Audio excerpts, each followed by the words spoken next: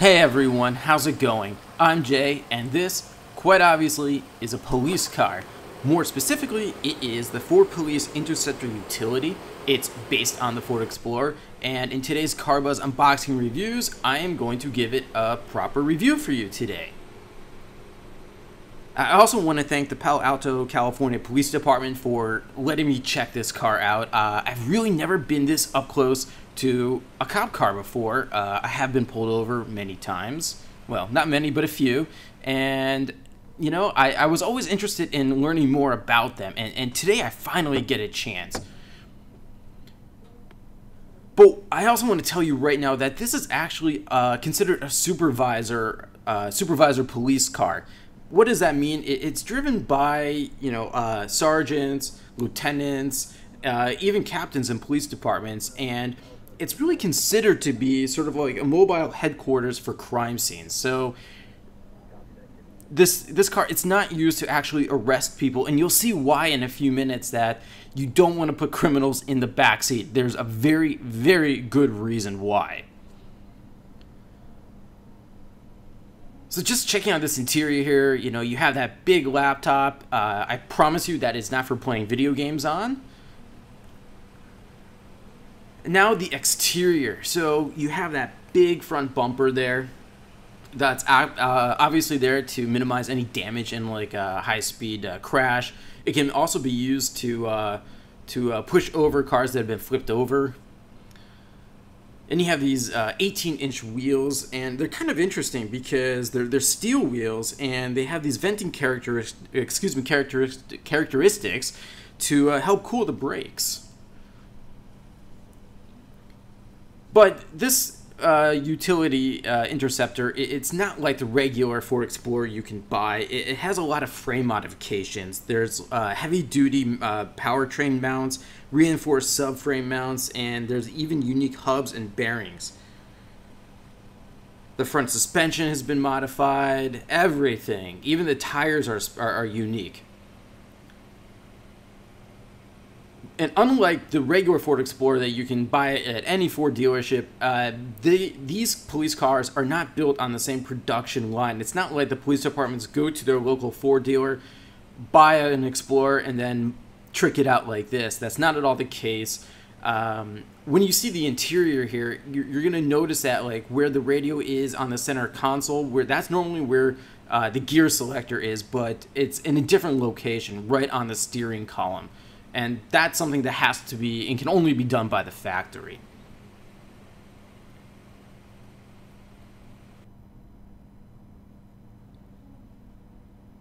And this might just look like a plain uh, rear, you know, view to you, but what it's there's actually some hidden technology here, and it's called the surveillance mode tech, and it's basically uh, there's sensors in the rear here, and when they detect somebody coming from behind, when the police officer is sitting in the driver's seat, uh, the sensors will actually trigger for the driver's window to roll up and will lock the doors. The idea is, say if a police officer is looking down, writing a ticket, eating their lunch, and a, a potential threat comes around to harm them, this that will actually save their lives. It's really smart technology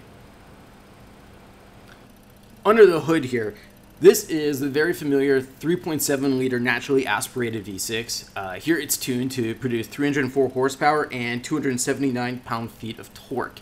This is actually the same uh, V6 that you can get in the base level Ford Mustang, but like I said, it's been mo uh, further modified to better handle uh, uh, city pursuit, highway pursuit, etc.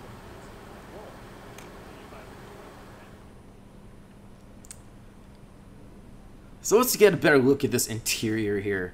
As I mentioned before, along the center console, that's where the radio is. You have the laptop computer.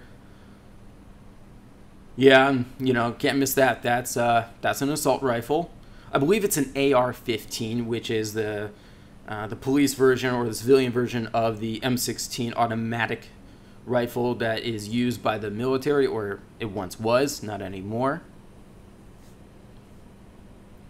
But it looks a lot like the regular Explorer interior, save for all that equipment. As you can see, the uh, the gear selectors on the steering column too. Ah, this is really cool. ballistic panel. That is actually uh, rated really highly in, so that it can uh, withstand the impact of armor-piercing bullets. Uh, you have that uh, factory installed ballistic panel on both the driver and the front passenger doors, and it's really good to have, but it's not in the rear. So, well, let's just say I would prefer to be riding in the front seat or driving this vehicle, just in case. So looking at this rear, I mentioned earlier that this is a supervisor police car. It's not for actually arresting people, and here you see why there is no like cage separating the front seat occupants from the rear seat, and that uh, assault rifle is totally exposed on the gun rack.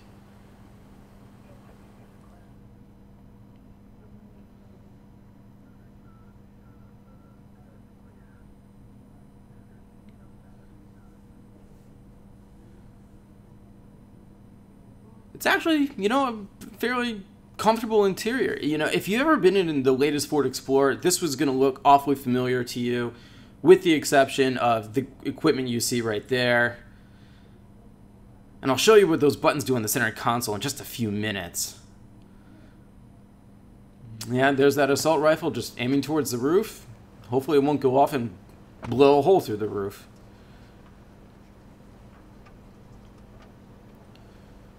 So apparently, Ford is claiming that nearly two thirds of its police car sales are of this Interceptor utility as opposed to the Taurus. Why? Um, a lot of space inside. And like I said, this is like a mobile headquarters, and you can see the cameras on every single uh, side of the car, and they all go to that monitor right there, so the officers can see everything that's going on at a 360 uh, degree angle, all around the car. It's really neat. And you see that lever right there on the A pillar? That actually controls these LED uh, spotlights, and you'll see how bright those are shortly.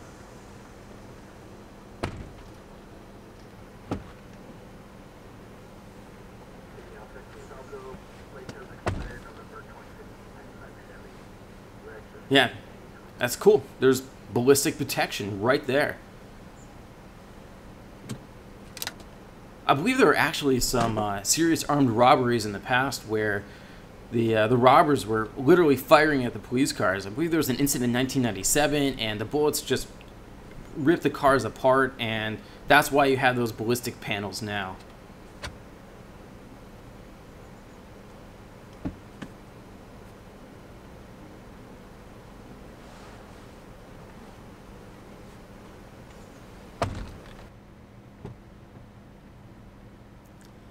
So here you get a better uh, understanding why uh, this is a supervisor's car and not one you, you would actually arrest people in. No protection for the front seat occupants.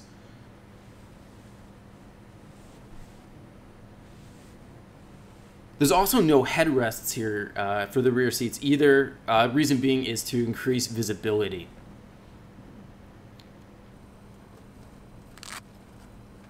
Some some of the equipment that you get in here.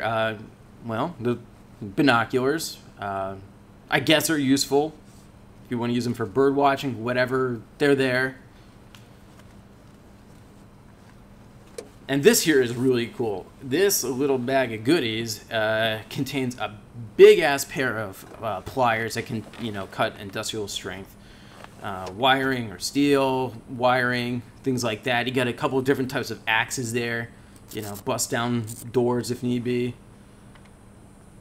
And that's what makes this particular uh, interceptor utility cool because it has the uh, capabilities of having more and more equipment. Like I said, it's like a mobile headquarters.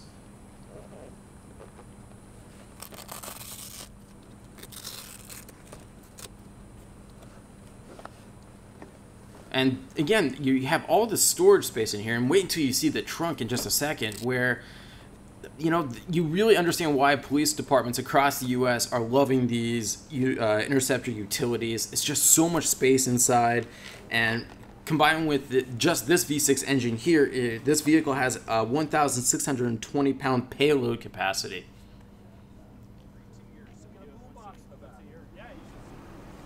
Yeah, this is definitely a mobile headquarters. This unit here, it's really, really cool. It's very heavy. It's all metal, weighs almost, uh, Uh, so it, it, weighs several hundred pounds, and it w- costs almost four thousand dollars.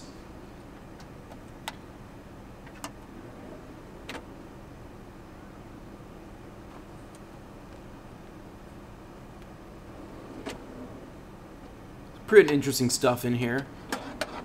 I didn't even know what ever, all of it did, but you know, there's some very obvious things. You know, you're gonna have like that. You know, your fire extinguisher. Uh, other things like you're gonna get a, bas- a gas mask in here, fallout suit, uh, protective boots, some uh, crime scene tape there, perhaps even riot control gear.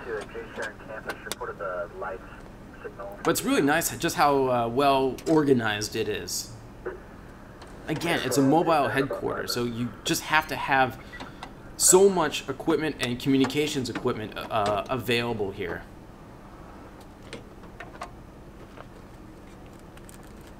Probably also put, you know, some flare guns, pepper spray, all that type of uh, police uh, equipment.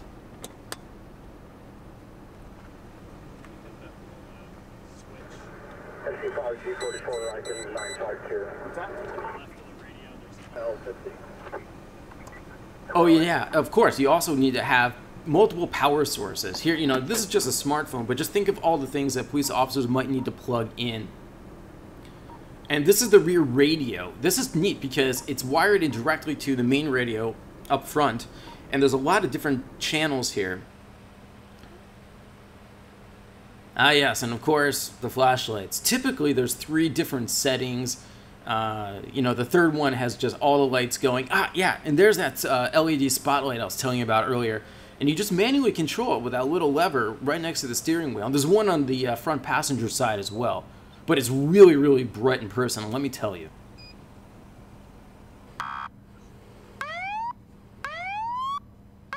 Yeah, and controlling the flashlights, or uh, the flashers there, it's just that simple. Yep, this is the view I'm pretty used to used to seeing uh, police cars behind me. Just by pressing these buttons, uh, you, you know, you adjust the flashers, the frequency of them, and apparently there's 25 different flashlight uh, combination patterns that police departments can choose from, which is, you know, pretty cool.